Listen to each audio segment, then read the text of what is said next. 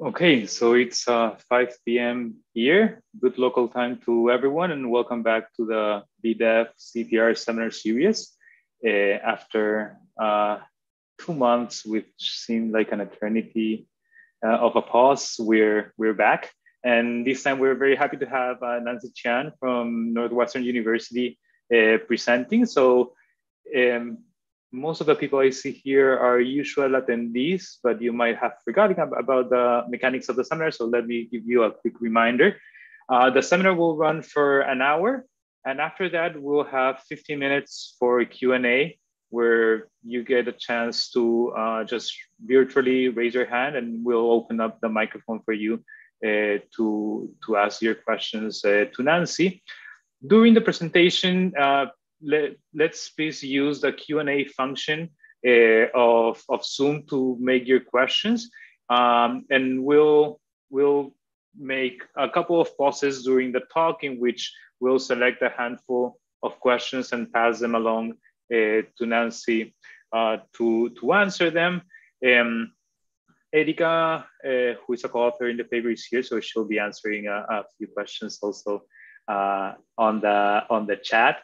Uh, please do not take offense if we don't transmit all your questions to the speaker. Uh, it's not because the questions are not interesting or bad, but just that we have a, a very limited uh, amount of uh, time.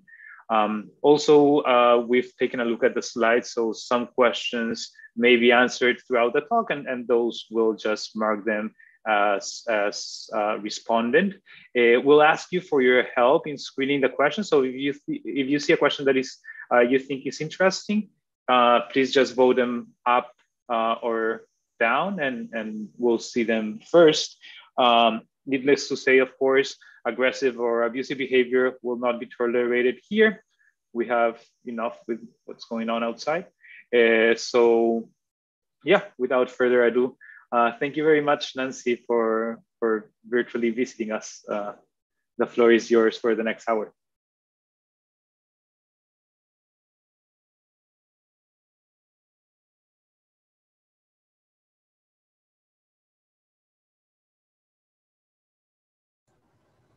So first of all, let me say thank you so much for letting me speak and share my work and get comments at this amazing virtual platform. And uh, the second thing I want to say is an apology in advance. I have two very young children who are being homeschooled this year. They're outside right now, but if you at some point you hear screams of either joy or pain, that's what's going on in the background. um, Okay, so I'm going to talk about a paper that I've been working on for a couple of years with Erika, who's here and will answer questions in Q&A, and Aisha, who is unable to join us. Um, the paper, the working title is Aid Crowd Out, the Effect of NGOs on Government Provided Services. Let me quickly motivate and explain how we got interested in this project. We came in from a couple of different directions. The primary one was our interest in foreign aid. As you all know, foreign aid is the most important tool for, uh, in terms of mo monetary terms for rich countries to transfer wealth to poor countries and the goal is to create sustainable development massive amounts of money has been transferred in uh, the post World War II decades. However, in recent decades, there's been a lot of concerns expressed by economists as well as aid workers, right? So uh, these can be broken down into a couple of categories. One is that aid is tied to donor objectives rather than the needs of the recipient countries. Another is that aid might actually hinder government, you know, however, whatever the objectives are, aid might hinder uh, the government capacity of the recipient countries, and that could increase aid reliance, right? And closely, uh, closely related to that is this concern of moral hazard that aid reduces the recipient governments to improve institutional quality.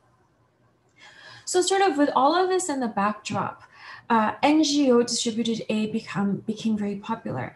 And the main reason, one of the main reasons is that NGOs are seen and have been shown to be more independent from the strategic objectives of large donors and large institutional donors. And so kind of with this um, with this idea in the background, the amount of aid that's been uh, uh distributed by NGOs to poor countries And the number of NGOs has quadrupled in more than quadrupled in the last 20 years. And a lot of aid, I think, for countries such as the US and EU, you know, over 10% of the total amount of money that they're giving out are actually now being distributed by NGOs. Now, of course, you know, with the rise of NGOs, uh, NGOs also receive more scrutiny. And some of the criticisms, actually, I would say the main criticism levied at NGOs uh, is that one, they compete for limited resources. Uh, so you know they they might they often are seen as offering higher wages than what the local the recipient government can afford to do can afford to offer. And when they do that they poach skilled workers from those countries. And uh, skilled workers are in limited supply so this could actually hinder the development of government capacity right and this is important if the ultimate goal is creating sustainable development. For sustainable development, at some point, we need the recipient governments of the poor countries to start providing those services, right? Um, okay, so our research question is pretty straightforward, which is does NGO administered aid help or hinder native public capacity? And we're going to be able to address that in one specific context, you know, like any empirical paper. Okay, so I just want to say, you know, what are the main challenges? First, the existing arguments, of which there are many on both sides of the question from many different contexts, they're typically anecdotes or impressionistic. We don't really have systematic quantitative evidence from any given context, right? And part of the difficulty is data limitation it's really difficult to measure government capacity in a very poor context. You know, what's the correct measurement? Typically, when we think of state capacity in a cross-country context, we think of taxation, uh, military conscription. That seems much less relevant in our context, where we're just thinking of state capabilities in terms of providing really basic services to the community. The second difficulty, you know, which is almost ubiquitous across all empirical studies, is of course causal identification. You know, what if we saw a relationship between aid and reduced government capacity in the recipient country? It was really difficult to say that that association is causal. It could be reverse causality because we target aid, if we target aid, as we should, towards countries that have lower capacity, right? So one of the one of the initial mandates of NGOs and its core mission is precisely that to act as a stopgap where there where the government has no capacity. They're meant to go where government has no capacity. So of course we are going to see a negative association between NGO and uh, and government capabilities. Okay, the second issue is joint determination. You might think that low recipient government capacity and aid are both outcomes of other problems, you know, like weak government, weak states in general, the presence of conflict, you know, so on and so forth. We can all come up with a lot of examples of very relevant omitted variables for this context. So what we're going to try to do in this paper is to address these two issues in one specific but very policy relevant context. We're going to estimate the causal impact of aid delivered by NGOs on the recipient government. And by and specifically, we're going to focus on government provided services uh, that are meant to that of the similar type of the NGO provided services. For causal identification, we're going to exploit a, a, random variation in the rollout of the NGO. And the main outcomes we look at to measure government capacity is the number of government workers who provide similar services as the NGO in the same location and the service provision, right? So first is the workers, the number of workers, and second is government supplied services. The context we look at is rural Uganda, uh, which is one of the poorest parts of the world. Uh, we're going to be looking at aid delivered by a very large NGO using a random rollout that was conducted as part of an internal evaluation that they did. Now, one thing to mention is that the NGO and the government, in our case, aim to provide very similar basic health services. The main difference is that the NGO offered much higher compensation than the government for the workers. And I'm, I'm going to come back to this in a lot of detail. Um, so again, our context is very the the results that i'm going to talk about should be interpreted as specific to the context of our study at the same time our context is very policy relevant and i'll talk about the specific dimensions of the context and why it's relevant and how we should interpret the results with as much uh, care as i can manage in the next uh, 15 minutes or so. Okay. Okay. So so how should we think about the effect of uh, the ngo ex ante, actually it's ambiguous, right? So on the one hand, you have the criticisms that's being levied by public health work, by the public health community and the aid community, which is that higher wages attract government workers, and this can poach government workers and reduce government capacity. You know, but there is a flip side to this, which is that these are communities where, you know, for things that we're looking at, like basic health services, villagers know very little about this. They've had no almost no access to modern health services historically. So you might think that when the ngo comes there could be positive spillovers right? Ngo entry can actually educate the villagers about the value of these services. They can see the value of these services. And this could increase the number of people who are willing to work to provide these services for both the ngo and the government. So there could be positive spillovers. You know we're going to be getting the net of these two in our study. Okay so, what do we find? What we find is that when NGOs enter, they reduce government capacity in villages that already had a government worker. So, for villages that already had a government worker, uh, now NGO random randomized NGO entry reduces the number of government workers. Uh, it reduces the amount of services provided by government workers. Now, in villages where there was no government worker when the NGO randomly rolled out, we don't see any positive spillover. So there's no effect on uh, there's no there's no increase in government health workers. So these results supports the crowd out concerns, and in the meantime, we don't see positive spillovers. And I should mention that we're looking two, three years out. So you can think of these as short, medium run results, right? And long run results could be quite different. Okay, so what are the policy implications in the short and medium run? in the medium run? Well, um, so one thing is that this is consistent with the concern that it could increase long run aid reliance.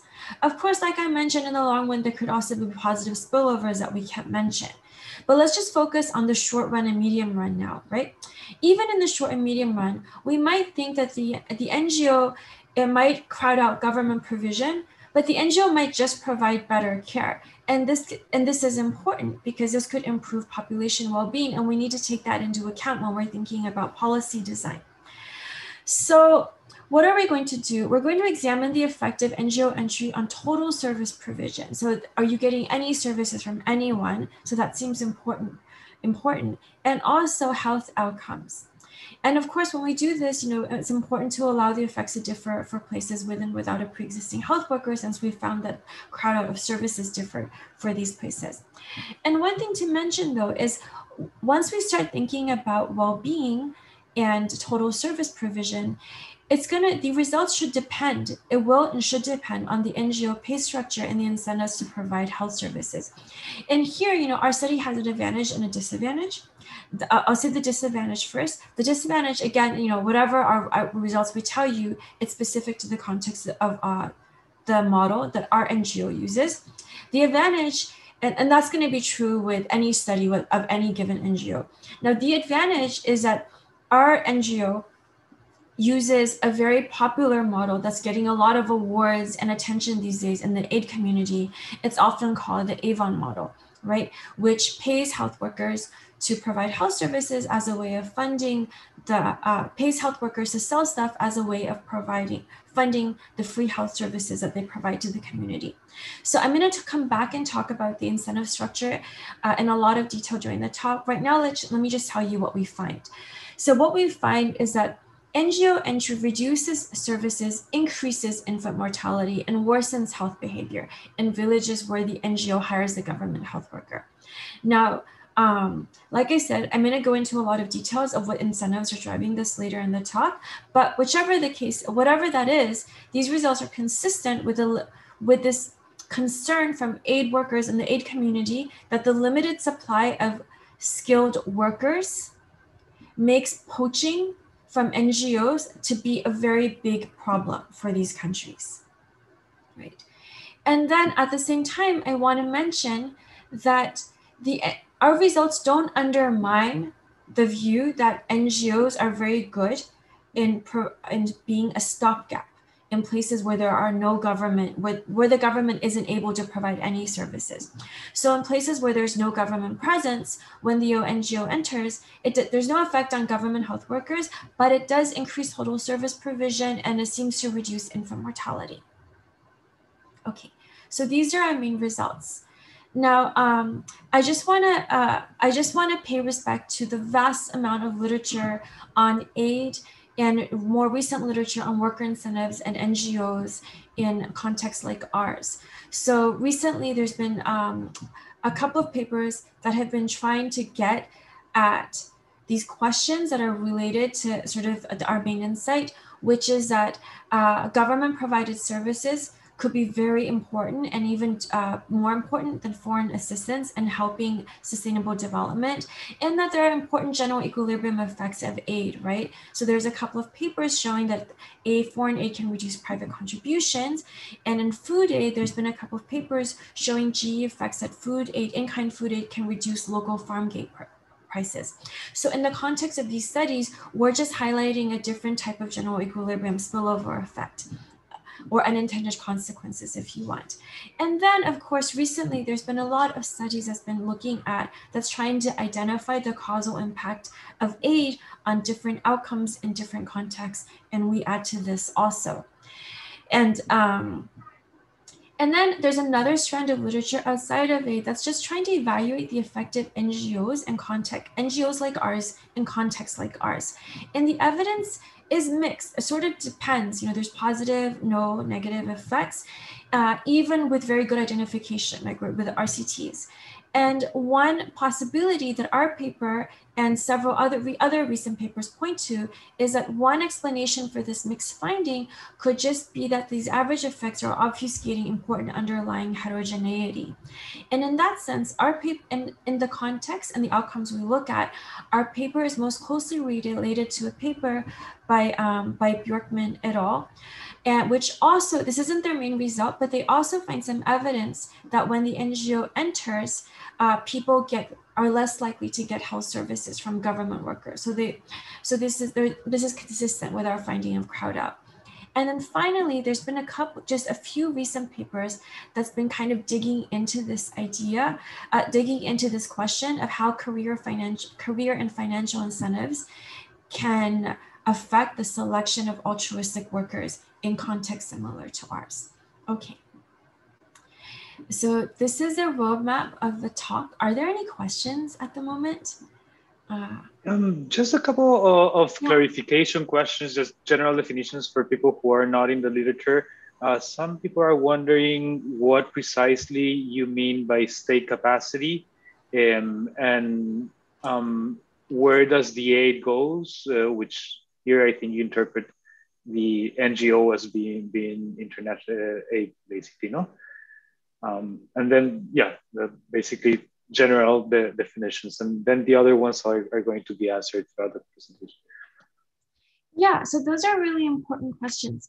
So uh, the question of what do we mean by government capacity? What we mean is simply uh, the ability of the government. The, uh, we're going to be looking at Uganda. So we're going to be looking at the ability of the public services provided by the Ugandan government uh, and their ability to provide these services, right? Like are in a given location when the NGO enters, uh, what happens to the number of government workers or what happens to the presence of uh, government services, similar services, and um, that's what we need.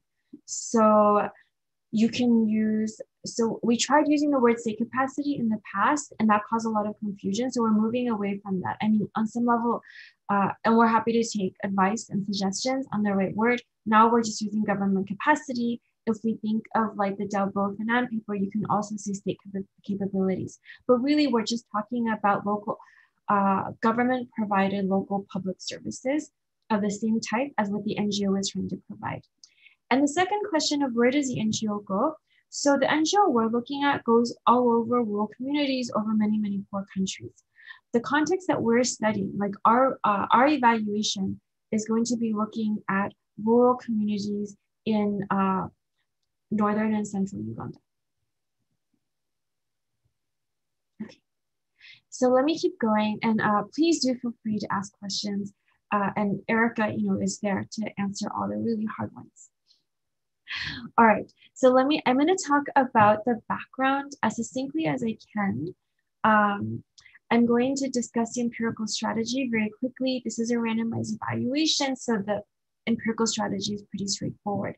Then I'm going to talk about the main results on government capacity, uh, which is again looking at the government, the presence of government workers and government provided services in the community where the NGO enters.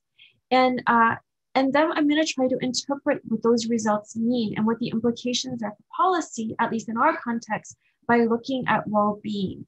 And this is going to, uh, by looking at well-being total services, and mostly we're going to be focused on mortality and as our measure of well-being.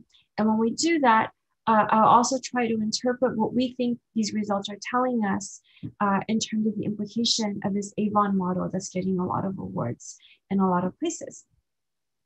Okay, so let me go on a little bit. Um, and I'll try to remember to stop periodically for questions. And if I don't, Gianmarco, please just interrupt. Uh, okay. okay, so let me just say a little bit about our context and I'll stick to a need to know basis. So the, we're looking at a very poor place. So per capita income in Uganda is $522. We're looking at one of the poorest places. One, we're looking at the poor regions of Uganda, in, uh, in rural Uganda. In the area that we're doing our evaluation, which is pretty representative of many parts of rural Uganda, there's very little access to medical care. So in terms of modern medicine, there are only two sources. These are government workers uh, and NGO, the, the people we're studying. And both of uh, these services provide home visits and basic uh, healthcare advice that I'll talk about in a second. Now, the other sources of medical care come from traditional healers, which you know, give traditional herbal remedies and intermix with some superstitious beliefs and some useful practices, you know, tried and true over time, together with drugstores. So drugstores are present in some of these communities and they dispense advice while dispense selling medicine. You know, so you buy an aspirin and they say you should take it when your head hurts. Uh, take one pill every time you have a head headache. So pretty basic advice. Okay, now, in urban areas, there are other sources of medical care. So there are private clinics, government clinics, and health centers, these that provide modern medicine. Okay, so the government health program aimed to provide free basic health services during home visits. And what does this program do?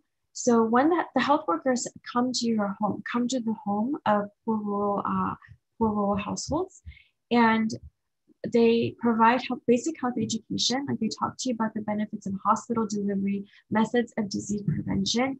They talk to you about the, they provide postnatal checkups, right? Again, septicemia and other things where if, uh, that are very serious and which if there's a serious problem or a sick or a sign of a problem, they tell you to go to the local health clinic in an urban area and they help you coordinate that visit. And if there's no problem, you know, everything's fine. So they also provide basic medical advice and uh, and they also pro- they also provide um, and they also refer you to health clinics in during prenatal times. For example, they'll say, well, you know, your baby is there's this is breached, the baby hasn't turned. It's very important for you to go uh, for you more than anyone else. You should really, really go and deliver in a clinic. And while these things are quite basic, uh, they are they're they're also for, when relevant, it's also the difference between life and death for the mother and child. Now, uh, in addition, they provide basic medicines free of charge. Uh, these are really basic things. Again, uh, but again, these have big, they can have big impacts in places where that are very poor, where access is very limited through other sources. Now, all workers are given a, are given basic training by the government, a uniform, and medicines for distribution all workers are recruited locally from the same community. Uh, they can be men and women, or they can be men or women. They tend to be women. Okay. The program by the government was officially established nationally in 2001, but the government did not have the capacity to implement it until 2009. So in 2009, they rolled it out. Volunteers are, uh, all workers are volunteers. They are unpaid and motivated by altruism. The government aimed to have one village, one at least one worker for every village. In the end, they were only able, they rolled out the recruitment effort across countries. They were only able to recruit one uh, a worker in about half of the communities and never more than one worker per village. Now, in talking to the government workers, and you know, we did a bunch of interviews, the main there's a consensus. They're pretty open about why they couldn't find every a, a person for every village. The main constraint uh, was that they weren't able to find a person who was able and willing in every village. So um, they were just the, the labor is very constrained in this context. Now, one limitation of our data is that there is no aggregate data or record for, of government health worker locations. I should say one limitation of these, the government database. Uh, so of course, in locally, regionally, uh, government health workers, gov- uh, the government, uh, the government workers know where the rural community workers are because they're restocking them with supplies like locally in the local urban areas, but there's no aggregate database um, at any level as far as we know. And this is also important to keep in mind when we think about the NGOs and rolling out, because we're going to be telling you a story of how the lack of coordination between the NGO and the government is uh, potentially causing quite a bit of harm. And it's important to kind of keep in mind that this is not a story of like a pernicious of uh, of a pernicious NGO who doesn't care. I mean, it's actually very hard for them to coordinate with the government, which doesn't have aggregate data, right? So one of the takeaways that we're going to be pushing at the end or you know discussing at the end is um, this is a context where there might could be really high value for the government to collect data on where its health workers are and also where NGO health workers are. Okay, the NGO we're looking at is one of the largest in the world. It has a similar it has similar aims as the government. Just so you know, these aims are all being inspired by the Millennium Development Goals. That's why if you look at their manifesto and you read the instructions and their goals and their mission statement, uh, it the word even the wording is very similar. Okay they uh, their aim is to improve how improve health outcomes for you know young children and mothers uh, and they provide similar health services free of charge as the government. Now in addition to providing health services free of charge they also sell household commodities at a piece rate. Very useful health uh, health commodities like soap you know, um, gloves, uh, iron pills, condoms, things that are things that are um, consistent with the health mission the, of the NGO. Well, when they sell these things at a piece, the health worker earns a piece rate, and this provides her with an income, right? Uh, so that she doesn't have to work for free. And this is an advantage. When the NGO ran and moved out in 2010, one year after the government rollout, the government workers were already in place. The NGOs, the NGO was able to, uh, the NGO also recruited locally and they looked for similar skills at the government as a government worker. They were able to recruit one worker for every single community. So even communities where the government uh, wasn't able to find anyone to work for them, the NGO was, right? So this could be one of the benefits of actually allowing the workers to be paid. Now, one thing to mention about screening, the NGO workers, the NGO actually tried to avoid hiring government health workers, but they didn't have a way of systematically screening them out. They looked for workers of the same with the same skills set that the government was looking for. So if the government worker applied for an NGO job, she or he would naturally be one of the most competitive person for that job, and they can probably get it. Um, a little bit more on background. This is important when we think about um, spillover effects. So the government operations and the NGO presence, I just want to be clear about this in this context. They're basically running two parallel programs orthogonal with no communication to each other, right? And part of this, uh, this is largely an outcome of the limited administrative capacity of the government. There's no centralized database. It's uh, on its own operations or NGO presence. And while this seems, you know, kind of extreme, it's actually not. Remember, the NGO's mandate is to be a stopgap and provide services in contexts where the government has so such limited capacity that they can't provide anything, right? So as these governments, as these countries develop, they're going to start they're going to start to slowly try to provide services on their own while being while having limited administrative capacity, you know, not having the database that OECD wealthier countries would have. So this context, while it seems sort of uh, chaotic uh, when you first look at it, is actually exactly the relevant context well, to think about NGOs and crowding out or crowding in government uh, services. Okay, the second thing to keep in mind is that because of limited capacity and not having data on where um, on where its own and NGO services are, the government does not reallocate the resources and elsewhere. So this we have never heard. We asked, we looked into it because this was one of the first things that popped into our minds, or the minds of economists, you know, any economist.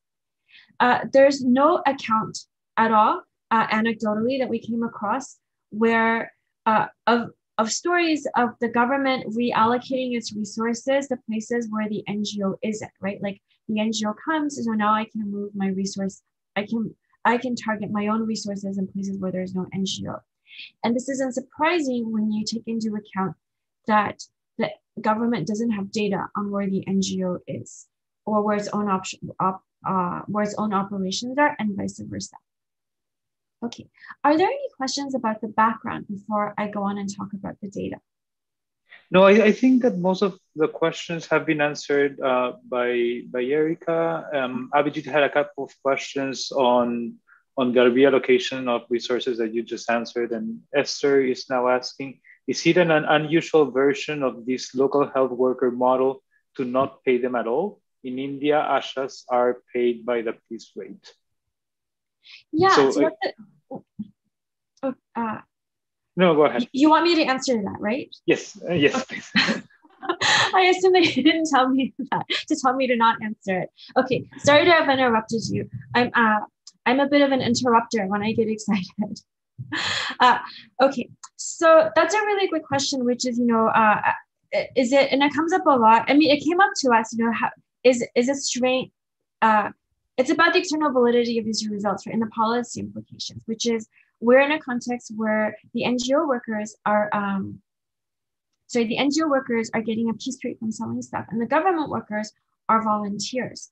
So of course, not all government workers everywhere are volunteers, like everywhere, but a lot of the government workers for local, locally provided public goods are volunteers. So in the paper, we give a long list of different countries, different contexts. But if you think about it, even in rich countries, like when we think about, uh, recently we just had some presidential elections in the United States, which many of you uh, know about, uh, poll workers in the US are usually volunteers. So a lot of local public goods in many different contexts are provided by volunteers. And I think this question of what motivates people to provide volunteer services is super interesting. And that's something that, you know, Erika's been, has and been doing quite a lot of work on.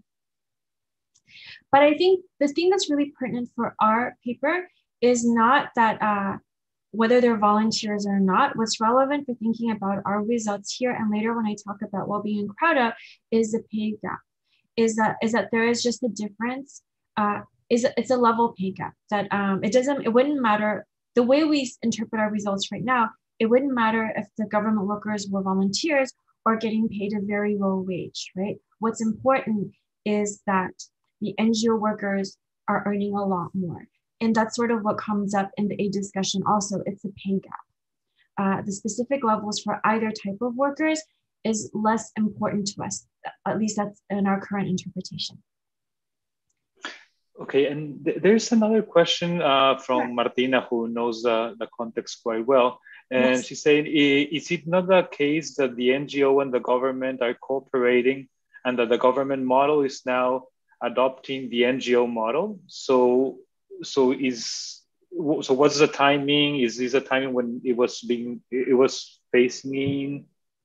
Yeah, that's a really good question. Thanks, thanks, Martina. Um, who I know has been done, Martina has done, uh, Martina, Andrea, Jacob, David, they've done a ton of work in this context, and I know that they're doing something really exciting stuff right now. Um, so our, so this, I think this sort of addresses that question. This is the timing of the experiment that the that we're evaluating, and the type of cooperation isn't really happening here. And one of the things that we would like to talk about after looking at our results and putting it together with Martina and Andrea and Jacob's past and current results is to kind of put it together and talk about implications for what the government could and uh, what the government and NGOs can and should can should shouldn't do. Um, but it's not happening in our context. And another thing I want to mention that's happening now that's not happening in our context is in several countries, including Uganda and also Sierra Leone, uh, there is a call from the government to register NGOs and create a database. So that's great and totally consistent with our findings, but that's not happening in our context. Okay, so our government, so this is the timing of, of our study. The government rolled out in 2009. It was a universal rollout. It was only able to recruit people in half of the villages. This is obviously not random. In 2010, the NGO did a randomized rollout, rollout in 127 villages in two parts of Uganda. Okay, it turns out, I mean, it was a, so around half of the communities in Uganda uh, in our sample already had a government worker and half of them didn't. And we have two surveys. One is a village level survey and one is a household level survey. The household level survey is a 20% sample of all households. And, uh, and if Erika can correct me if I'm wrong, if I remember correctly, they uh, gave more weight to the oversampled households of you know, young mothers and young children. Okay, and then in 2010, we, uh, we uh, in 2012, there was the end line survey. There's about, it's almost three years between the baseline and the end line. Now, in 2010, Uganda also did a, uh, had a census, and we're going to use a census survey to, we're going to uh, use it to supplement our data set for, you know, controls, balance checks, so on and so forth. Okay, I'm gonna skip over this. Um, so I, I guess the only thing I want I want to mention about where our experiment is in Uganda is that this isn't the area that's you know been uh, affected by conflict. Okay, um, NGO workers earn about $19 and work 13 hours per week in our context. So this comes out to be about $1.46 per hour.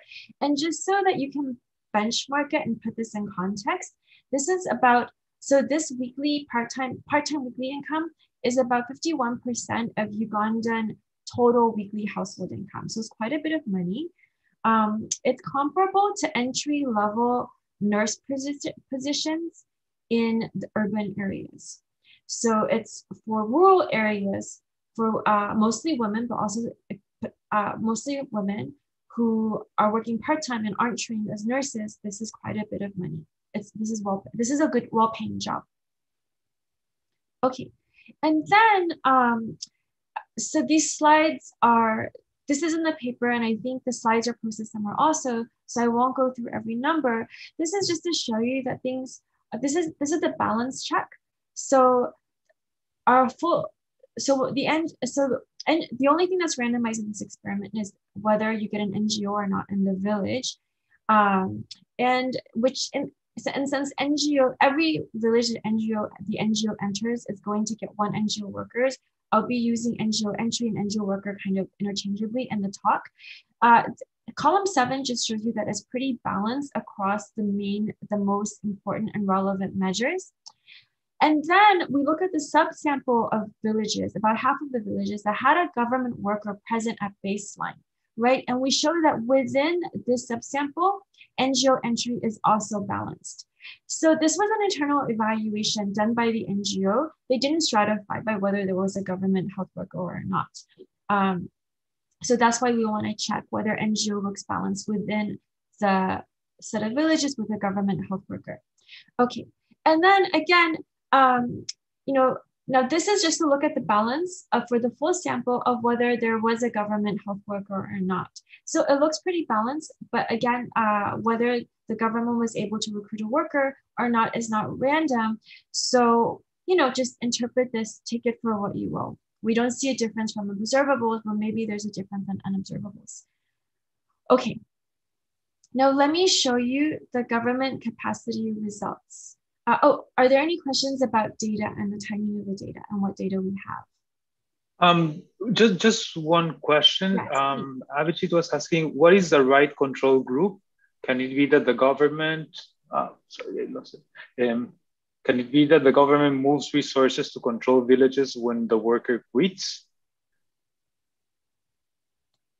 Yeah. So um, we don't see that, right? So I'm going to show you the results, and you're going to that, that just doesn't happen. Maybe it'll and we don't we don't see it in the data and we don't hear about it happening uh, happening anecdotally during this period or even very much now uh, so let, let me see if this let me see if this first set of results addresses Abhijit's concern which is something that we were actually sort of we were quite interested in extending so um, I'm just, just to keep life simple, we're going to divide the data up and uh, we're going to divide the sample up.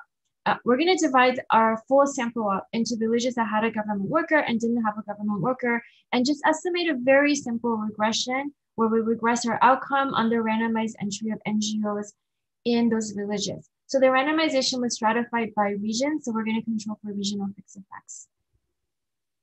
Okay, so column one to three. These are villages that had a government health worker in 2010. There's 73 of these villages. And column one is a dummy variable of whether there's any government health worker at baseline. So they all had one at, at end line. They all had one at baseline. And uh, so we want to know whether there's one at end line. And the value, it's uh, it, there's never more than one. So uh, uh, so this is we actually look at the number of health workers but you can also interpret it as a probability because the only values are zero and one. So what we see is that when the NGO enters, uh, it decreases the number of government health workers by about one per every other village. When the NGO enters, every village gets more one more NGO worker, right? It, they always recruit more. And then if we look at the total number of workers, uh, it you know these have to add up. So basically what we see is if we add up the total number of government health workers, so the value can be zero, one, or two at end line. Uh, when the NGO enters, there's a gain of one additional health worker per one per every other village. So they have to add up. Now, so this now let's look at the villages where there were no government health worker at baseline. So there's about there are 54 of these villages in our sample. And we look at the same set of outcomes. We see so for all of these villages, they had zero government workers at baseline, and we see zero at end line. So this sort of uh, speaks to this speaks to Abhijit's question about a reallocation of resources. We just don't see it here, at least not in terms of the number of government workers. And again, anecdotally, we don't hear about it, and they don't even have data of where people are. When we look at NGO health workers, again, we see every village that the NGO enters, you go from zero to one NGO health workers, and these two things have to add up. So for when we look at total health workers, every village where the NGO enters, there's one more uh, worker of any type, total health worker. So basically, these results are consistent with poaching. Um, and they, they are consistent with poaching, and they show that there's no positive spillovers in villages that didn't have a health worker to begin with. Now I want to have then I want to take a deeper look at the intensive margin. Let me just check time. Okay, I want to look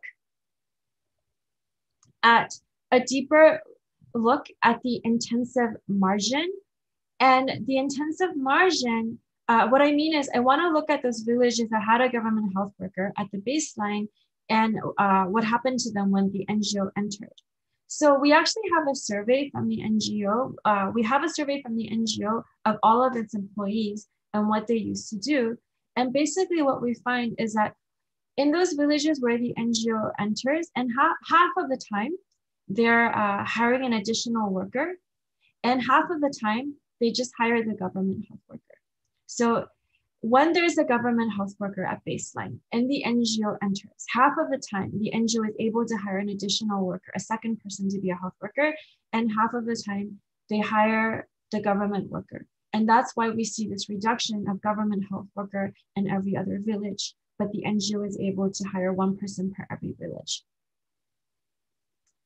Now, I want to, um, it's a little, so now I, are there any questions about our findings just on the number of government health workers, NGO health workers, and total health workers?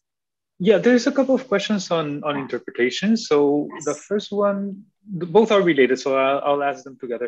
Uh, the first one asks, so is this really a problem, challenge of providing aid in itself, or, or is, is this an issue of, of uh, misallocation?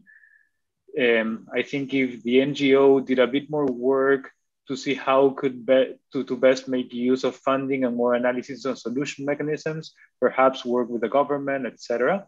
And the second one is, is this study able to identify what is the exact uh, sort of state capacity constraint? Uh, these papers seem to be, um, are, are there something else about the information gap, the NGO's activities and resources? It is also possible that there's a local shortage of human capital as well, lack of incentives. Um, yeah, thanks. So let me answer the first question. Um, so this is a, so whoever asked up a question is exactly in point. So our takeaway from this paper is that this is a story about misallocation, right? This is not a story about that aid is always bad. In fact, I'm, we're going to show you when aid delivered by the NGOs do a lot of good and the, you know in villages where there was no government capacity before. So this is exactly a story about misallocation and we have some policy takeaways about things that we could do that would potentially have really high returns.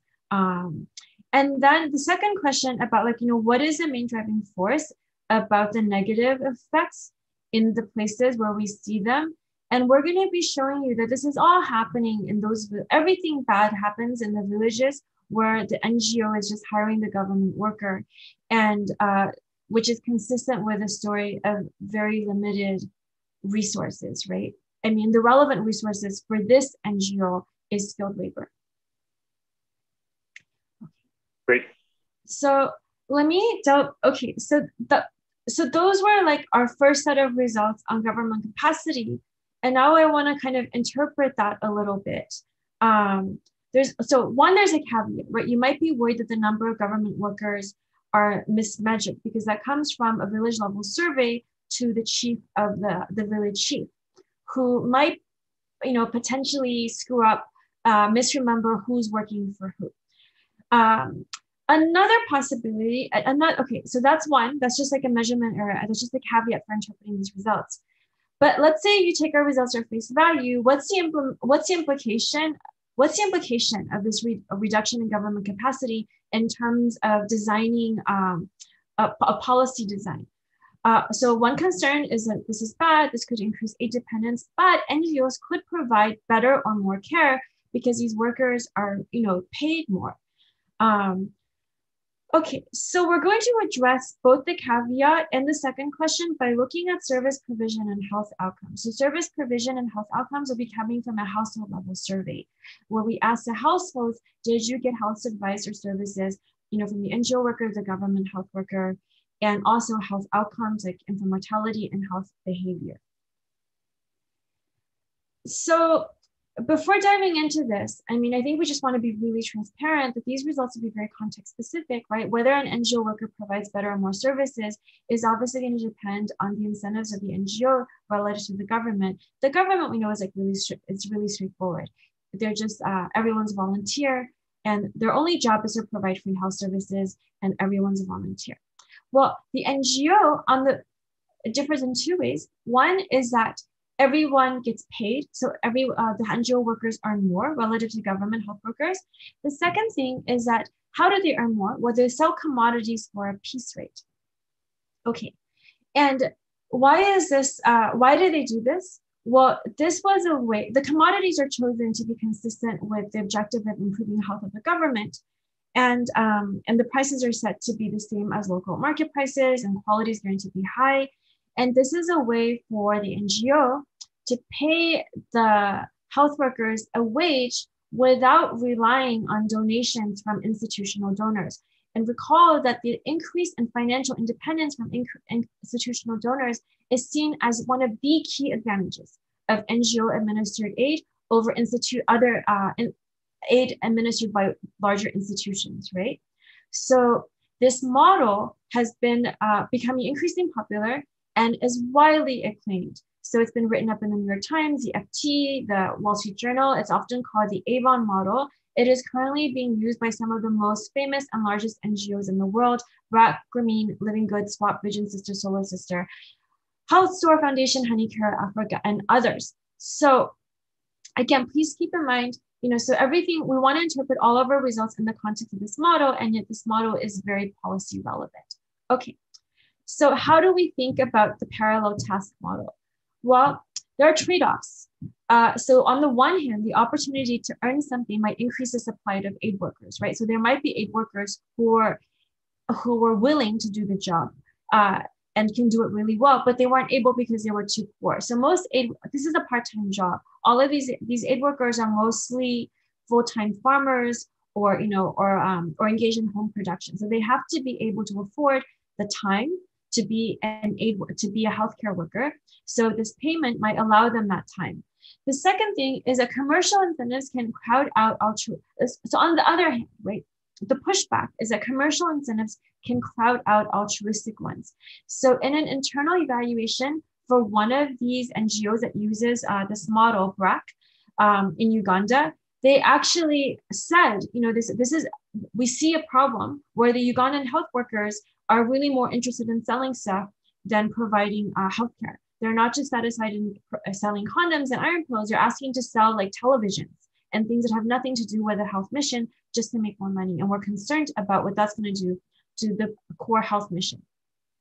Recently, Wagner Lee and uh, co-authors have also provided empirical evidence that commercial incentives can crowd out altruistic ones within NGO and in an NGO in context very similar to ours.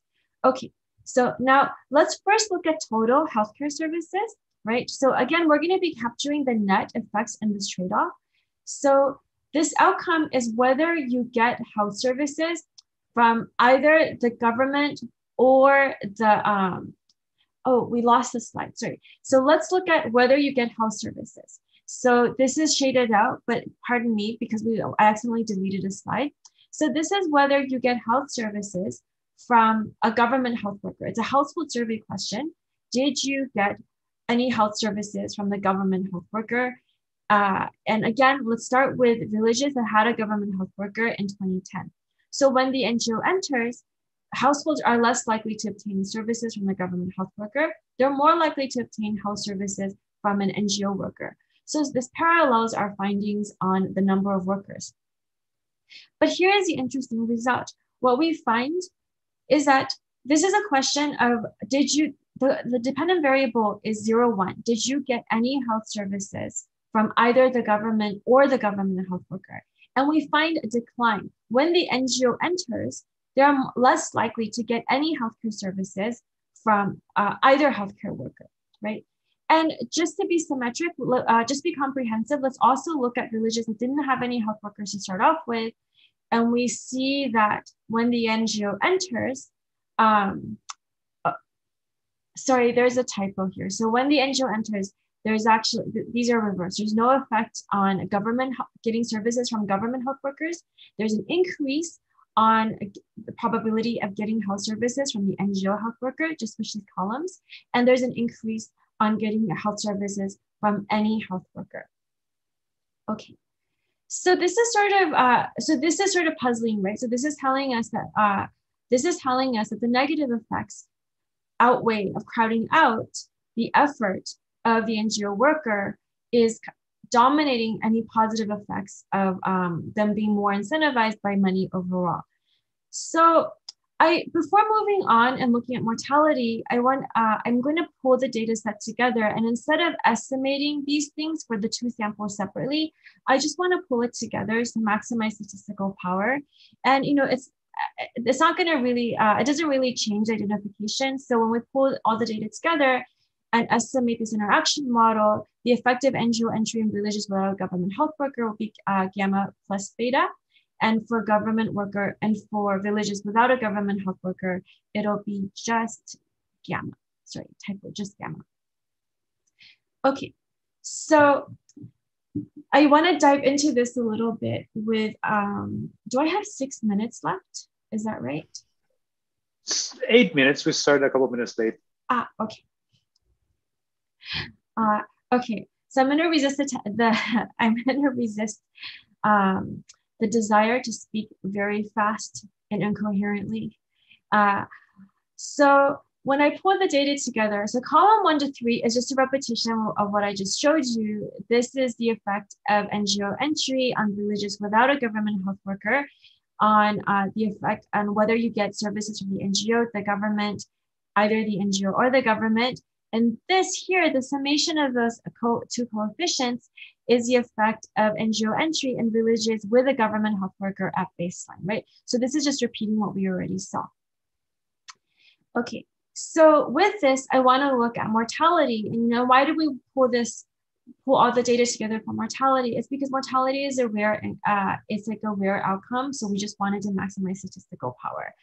So we see coefficients that are going the same sign, but nothing is really significant. So when we include NGO entry uh, has a negative coefficient for infant mortality in villages where there were no government health workers, but it's insignificant.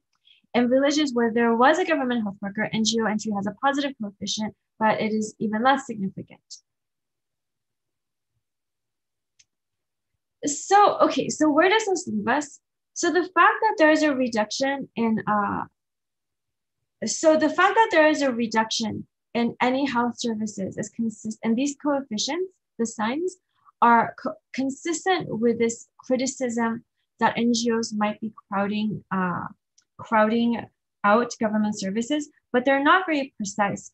And also they don't tell us that much about the mechanisms. So the next, the last thing I want to do is take a deeper look at the intensive margin again and sort of try to tackle this limited labor hypothesis as directly as we can with the data, right? And this is sort of the question that Gianmarco brought up earlier from the audience is, you know, what's really going on here, right? And this is, we're going to try to tackle this.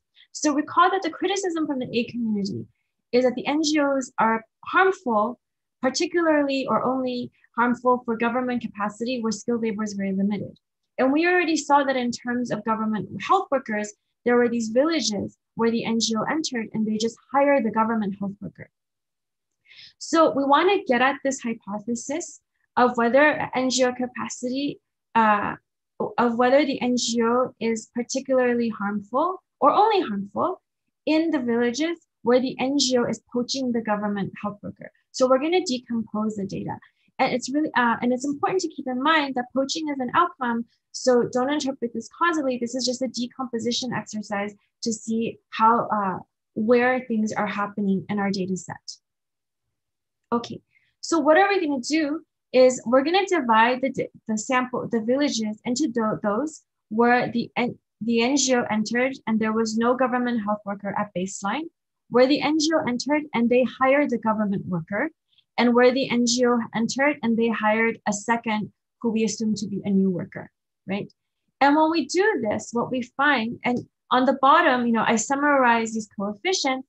So this is the effect of NGO entry on villages where the government hired the government worker, NGO entry on villages where the government hired a second worker.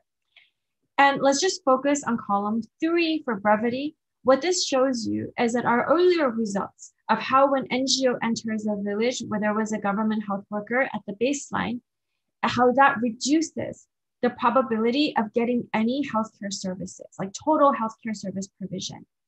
That is entirely being driven by villages where the NGO hires a government health worker. It's not being driven by villages where the NGO hires a second worker. Similarly, when we look at infant mortality, we see that in villages where the NGO hires a government worker, the, the government worker, there is a, an increase, a statistically significant increase in infant mortality and the probability that in, and that uh, at least one infant died in the household since the baseline in in death per thousand at the village level, right? And there's no increase in the villages where the NGOs were able to hire a second worker to uh, a second person to be the NGO worker. There's also no decrease, there's just no change. Um, interestingly, though, when we do the decomposition, we're able to be more precise about uh, everything, even the benefits of the NGO. When in the villages where there was no government health worker, the NGO NGO entry reduces infant mortality. So the co we saw that there this is a the sign was also negative before we started to do the decomp the finer decomposition, but it wasn't statistically significant, and now it is. Uh, we also look at other health healthcare outcomes in terms of healthcare behavior, and we find the, that the effects parallel the effects on mortality. Uh, and we do a lot of robustness checks. So it's 11. Are there any questions about these results? Uh, no, maybe let's move uh, any questions uh, to the live Q&A after, after you conclude. Ah, okay. So, um, okay.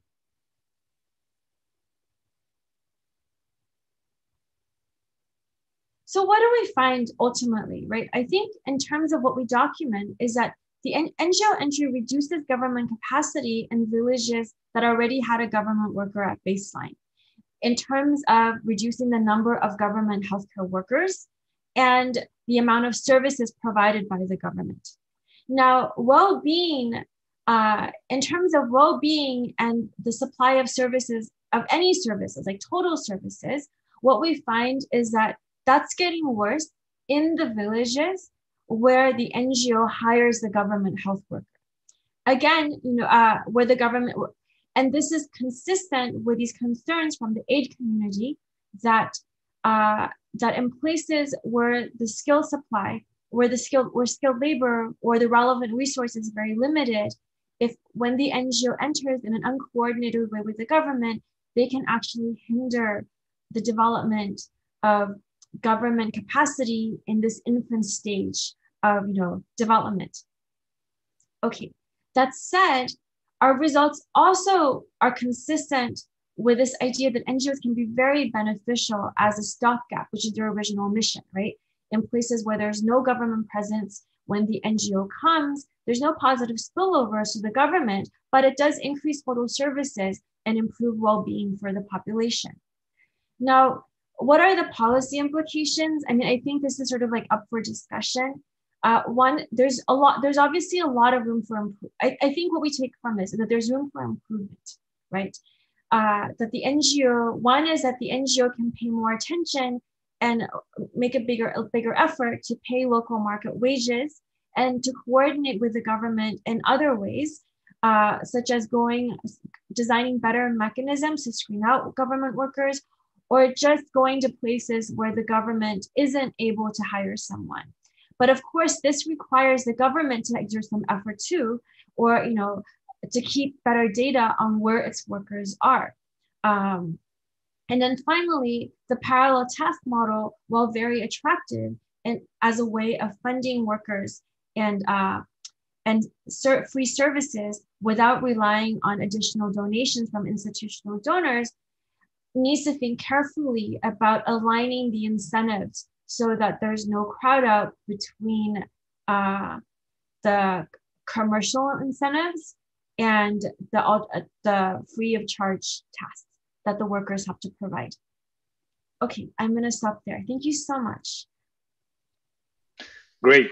Thank you so much, uh, Nancy. So if anyone has questions, please uh, raise your hands uh, virtually and I'll open up your mic. But I think that in the meantime, Eliana had a, had a question, so, or, or perhaps Martina. So uh, I can ask my question, but I think uh, Erika just replied. I was a bit confused uh, by what's happening in the villages where the government hires the health worker because to me that looked more like a relabeling. So the same person was called government and now is called NGO. So what was it that made this person less uh, efficient uh, and why infant mortality goes up and so on? And uh, I think uh, Erika just wrote that it's because she spends too much time worrying about selling goods. Yeah, that's exactly right. So one of the slides I didn't have time in the talk is actually, so this is from Reichenbach, uh, this internal study by BRAC in Uganda, you know, which is a, the largest NGO in the world and also uses this model. And they actually did it, uh, a time use survey. It's, it's self-reported, of course. This is self-reported data from their healthcare workers to see how the NGO workers using a model is um, allocating their time. And what you see here is that they allocate very little time to pregnancy identification, attending delivery, and making referrals, and a lot of time to selling stuff.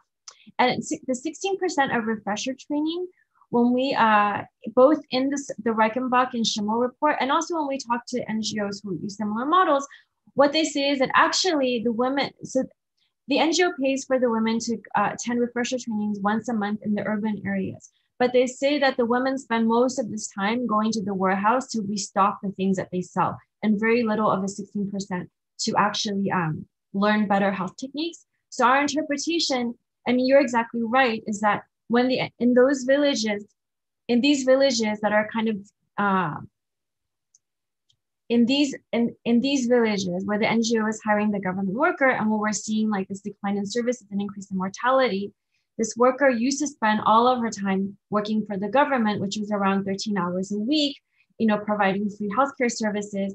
And now, on average, they're spending around 15 to 17 hours a week working for the NGO, but they spend about 70% of that time selling things.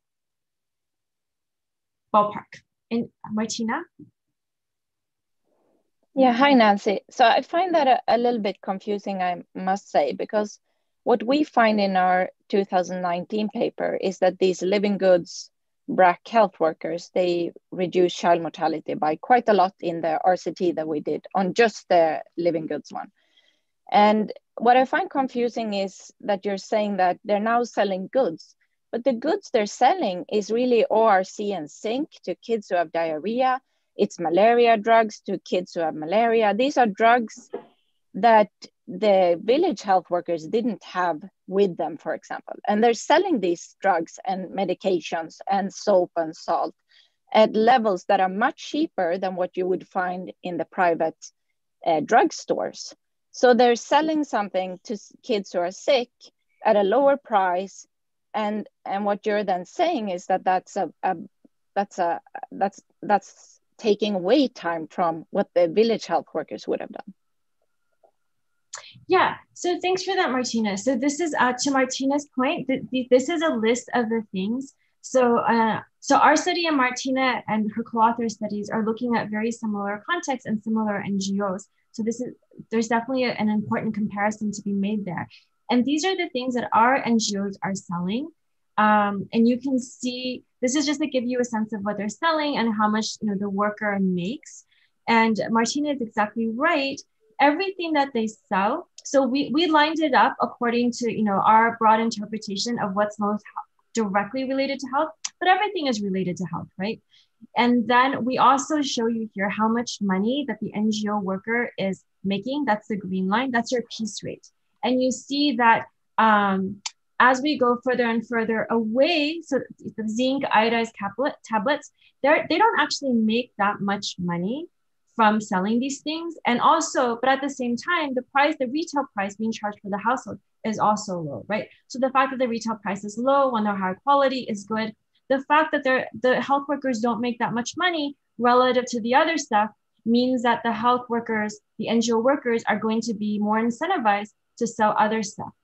That said, I think in comparison of the two studies, we also see you guys are estimating the average effect of the NGO and when we estimate the average effect of the NGO entry in our context, we find positive co coefficients that are less precise than your estimates. So that so this trade-off between um, effort of how much time you spend selling stuff that's uh, less relevant to health and how much that crowds out your time in providing health services my interpretation and the comparison is that this is going to vary a little bit context to context, right? So you don't want to take our numbers literally, but this trade off definitely exists. Thanks, Nancy. now we have a question from uh, Michela Limardi. Uh, Michela, your mic is open. Yes, okay, thank you.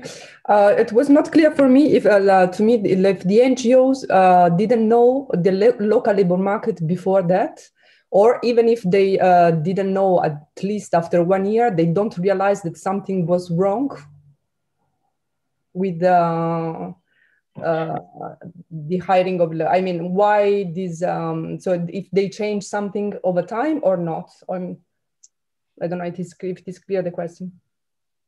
Yeah, you know, no, uh, I think I understand your question. So the NGO Central, like when they were just uh, don't know where the government is. The NGO, um, but of course, so I'm gonna break up your I'm gonna break up your question into two. One is what does the NGO know about where the government is? So NGO Central doesn't really know because there's no centralized database. But of course, when the NGO enters, they um, when the NGO enters, they know who's there, right? Like when they do the uh, when they do the surveys, they see who's who's there. The second question is, what did the NGO do like a couple of years later? Um, did they do anything differently? As far as we know in this context, so one thing we wanted to do was a follow-up study. So we started this like two years ago and we thought, well, can we do a follow-up survey? And we weren't able to do that in a meaningful way because by then the NGO had kind of rolled out everywhere. Um, that said, one thing I wanted to add is that, you know, uh, we're looking at a randomized rollout, which was randomized for evaluation's sake. The NGO does not actually randomize rollout when they scale up, as far as we know, right? They do try to target okay. a bit.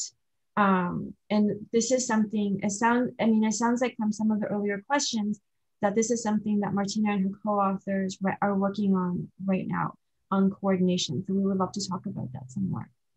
Okay, thank you. Okay, great. Um, I think that um, Abhijit has another question, but I cannot seem to find him here to open up his mic. Uh, Abhijit, maybe you can raise your hand virtually so I can see you.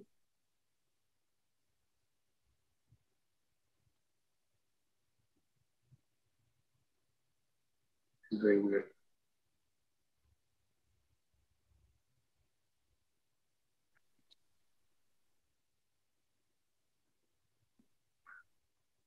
Um, Sylvia, if anyone else question, Gianmarco, that you may want to ask live. I think Erika answered it, but but other people may be interested. What's that? Sorry. Sylvia Blom also just typed in a question that I think Erika answered, but other people may be interested. So, Sylvia, if you're there, if you raise your hand, we can open your mic.